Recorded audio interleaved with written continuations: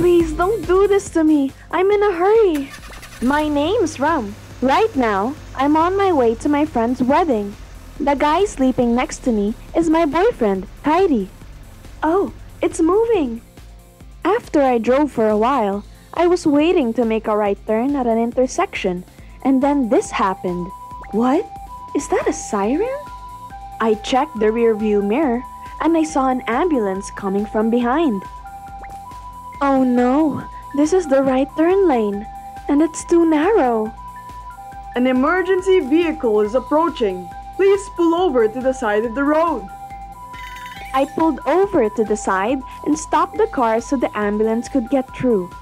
But the right turn lane was too narrow and there wasn't enough space for the ambulance to pass through. Driver in the white car, could you please enter the intersection? Uh, alright, I will. As told, I entered the intersection and stopped the car. I was able to make enough space for the ambulance at last. We appreciate it. You're welcome. The ambulance left, so I started the car. Driver in the white car, pull over to the side. Huh? M- me? To my surprise, I was stopped by the police. Hey lady, you're not supposed to run through a red light. What? This police officer apparently thought I was committing a traffic violation since I had entered the intersection on a red light. Um, I only entered the intersection because the ambulance came. Huh? There was no ambulance. That excuse is not going to let you get away with this. Come on, get your license out. What's up with this guy? I'm telling the truth. The ambulance told me to enter the intersection, so I did. What I saw was your car running through the intersection on a red light. I told you that's because. Unfortunately, the police officer saw me right when my car started running. This is a misunderstanding. I had stopped the car when I was in the intersection, but you saw me when I started the car again. I tried hard to explain myself, but the young police officer didn't bother to hear me out. Yeah, yeah. You still have to pay the fine, haha. Could you please give up now? I don't have time for this. On top of that, he also came on me with an arrogant attitude. What's with your attitude? It didn't end there. When he saw my address on my license, So you're from Saitama. I guess the streets in Tokyo was a little hard for you, wasn't it? I see a lot of those, people living in the countryside. They come out to Tokyo and commit a traffic violation right away. What? I couldn't believe my ears. I never thought the police would make fun of me because of where I was from. I I tried to be nice, but I can't take it anymore. Hey, you're a police officer. What's up with your attitude? Huh? Hearing my words, the policeman standing in front of me clearly made an unpleasant face. You're the one who violated and now you're snapping back?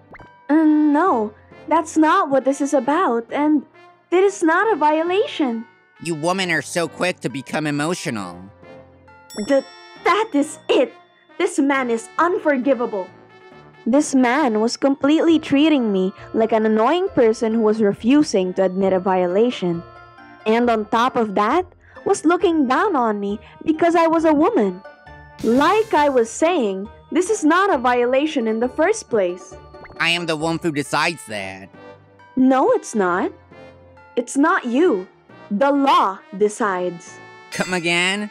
That's why we, the guardian of the law, decides. Was it a little hard for a woman from Saitama? That is it! I told you! Right when I was about to tell him off? Oh, that's a. Hey, what's going on here? Hear me out! This police officer is insulting me! What? What do you mean? I explained everything to the police officer that just showed up. I told him it was wrong to mistake the facts, and on top of that, spitting out insulting words with an arrogant attitude was a problem. Oh, I see. So that's her story. What did really happen, Bakura-kun? Yes, this time someone who understands came. Like I said, all I saw was a car entering the intersection on a red light, and the car was her car.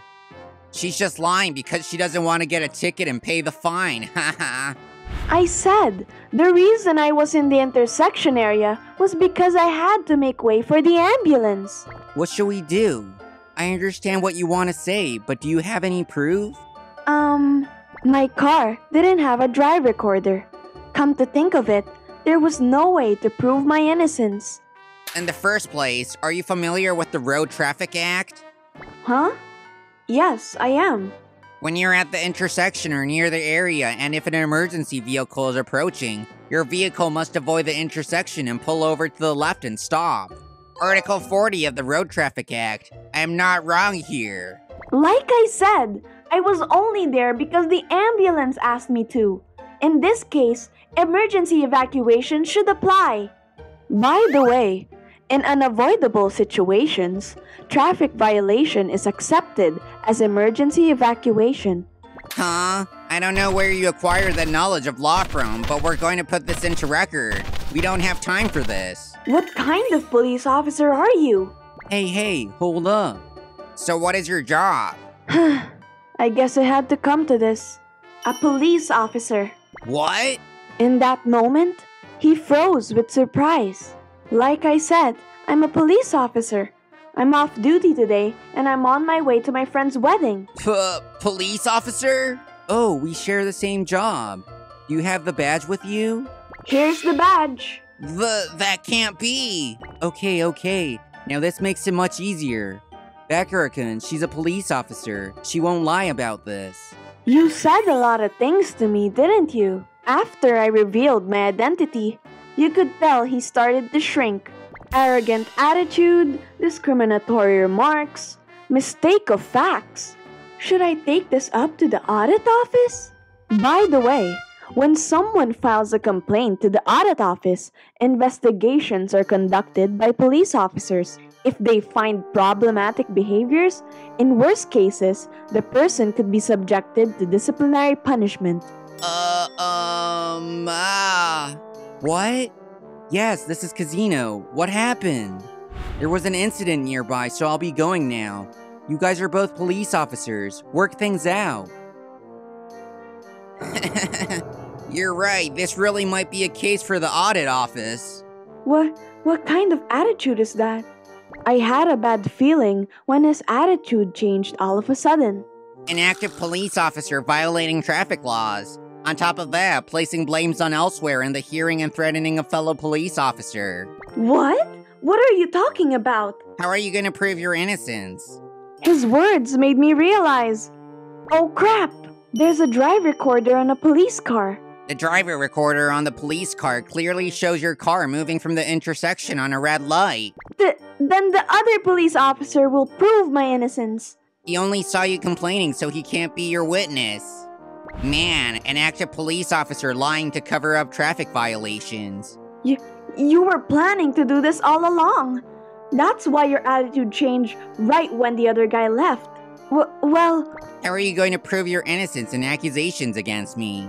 It was frustrating, but he was right.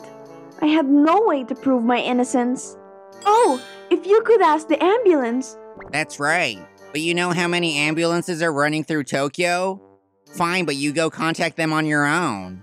In other words, he's saying he's writing me a ticket for now. Well, he's strangely clever. I guess I could prove my innocence later. This violation might go away, but. You know, it's not about my traffic violations. The biggest problem is your attitude. Yes? Official, what seems to be the problem? I was just doing my job? He didn't care at all what I had pointed out. He still went on with his attitude as if he was making fun of me. I can't stand him! Don't mess around with me. You know how much insult you were spitting at me? Was there something wrong with what I said? And how are you going to prove that? People are going to believe my words that you blame things elsewhere because you didn't want to get a ticket from a fellow police officer. You. Why don't you just give it in already? If you have complaints, prove your innocence and enter a protest against it later. So he said with a wicked smile. How frustrating is this? It wasn't the violations that angered me the most. I was mad at myself because I was made fun of and couldn't punish this awful police officer for it. I'm a police officer too. I was irritated at myself for my lack of ability when. Man, I had a good sleep. Who are you? So, Rum, what's the situation? Kairi, who was sleeping in the passenger seat, woke up. And then. I'm having trouble because your girlfriend right here is trying to get away with traffic violations by lying. Oh? No, no, that's not it. It's not a lie. What? Hey, could you stop talking nonsense? You guys really are a great match. Huh? I'm just working here as a professional. She's a police officer too, right? We don't need an amateur like you interrupting our conversations. Hey, you've got some pretty awful things to say. This is who I am. What? You're a police officer too? But but still, there's nothing wrong with my actions. Well, you've turned out to quibble a lot, Bakura. Huh? How do you know my name? Who are you? S Supervisor Kairi? Supervisor? Oh, yeah. You used to be a supervisor at the police training academy. You taught him too. Long time no see, Bakura. Looks like you've been passionate about your job. So, who did you say was lying? Who ran a red light? I just finished an overnight shift. You woke me up. Um, this is. but still, do you have any proof that I'm wrong? I was just investigating the car that ran through a red light. Everything else is just accusations. Hey, why do you think I was pretending to be asleep? Wait, you were pretending to be asleep?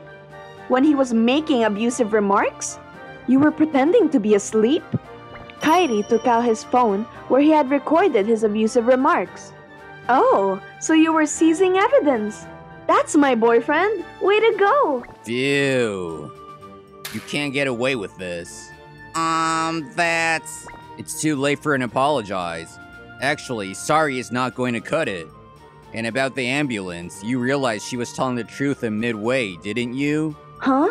What do you mean? You could have just contacted the fire department about the time and place when the ambulance passed by, but you did it on purpose, didn't you? The that's not my job to. Which means you failed to check on the facts, am I not right? I heard from Alto the other day that he found you slacking off at work. Um, um. You moron, go do your job right now.